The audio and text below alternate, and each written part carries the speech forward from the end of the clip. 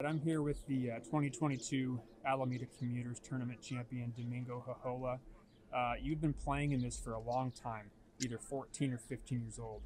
Um, what does it mean to you right now, with everything going on here? You just took a photo with the green with the green jackets. It's obviously a special moment for you. It seems like. Yeah, you know, I've been playing this tournament for a long time, and uh, the guys here do an incredible job. All the green codes, you know, it just means so much to a lot of people here. Um, you know, like I, you, you, mentioned, I've been playing this tournament for you know since I was 15 years old. So, growing up, seeing both golf courses for a long, long time. I know the golf courses, you know, we're only playing 18 holes now here, but um, it's super cool to to join um, a really cool list of champions. Um, a lot of history here, a lot of people with a lot of pride. You know, takes place in this in this tournament in this event. So I'm, I'm honored and I'm happy um, that I was able to play exceptionally well today, and it went my way. You've seen this this tournament in a lot of different ways, the old course and the new course. Uh, what makes this new redesigned South course um, so special and so challenging? You know, it always blows out here, so the wind is is normally a factor. Um, it was actually it was pretty benign the last couple days. You know, blew maybe a club to two clubs, but it's it always blows out here. The greens are fantastic here.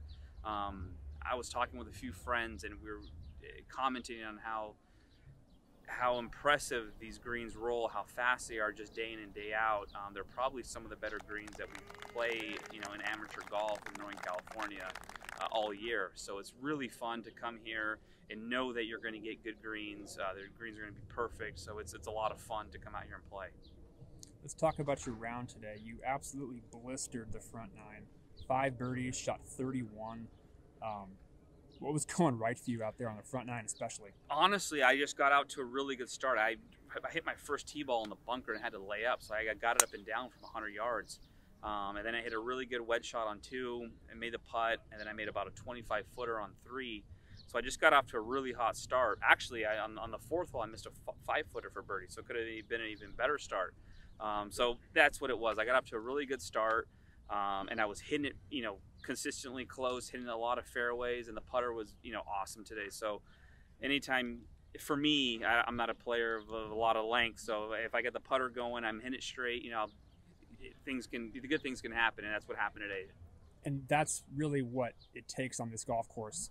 Um, a lot of is, patience, is, yes, is, is, patience, and then just making sure you're you're getting things going on the greens. Right. Um, short game, huge, huge part of playing right. this golf course. Right? Correct. You know, I hit a lot of greens today, um, and I converted a lot of putts, and it was just uh, it, it, was just one of those rounds where everything kind of clicked and fell into place, and I you know got a couple lucky breaks, uh, but it, it all worked out. Where does a round like 65 uh, in the final round rank for you in terms of just scores you've put up in your in your career? I, you know, honestly, I'm 35 now. It's probably been a long time, probably college days, since I put up a round like this, um, a meaningful round, um, sort of say. So it's a lot of fun to know that. I guess eh, deep down in these bones, there's a good, a good round, a special round every once in a while. So it's a lot of fun. I was chatting with uh, one of the two runner-ups, Mark Engelenter. Uh, he told me he's going to be your partner uh, a few weeks here at the NCGA four ball. He was saying it was just awesome to see, uh, you know, his partner play so well here. Um, you looking forward to uh, getting together with him? yeah, it'll be our first uh, tournament uh, NCGA wise as, as teammates. And uh, we've been become pretty good friends over the last couple years since I moved to the Sacramento area. Uh, so we're really looking forward to a couple mid-ams, you know, duking it out against the high school and college kids is always a lot of fun. So I'm looking forward to it. And any chance you get to play Spyglass is always absolutely always special. It's always a treat to play Spyglass. It's per- courses in perfect conditions. You know, it's a lot of history there as well. Course is hard, so we're looking forward to it. Awesome. All right, Domingo. Congratulations again. Thanks for chatting with us. Thanks again.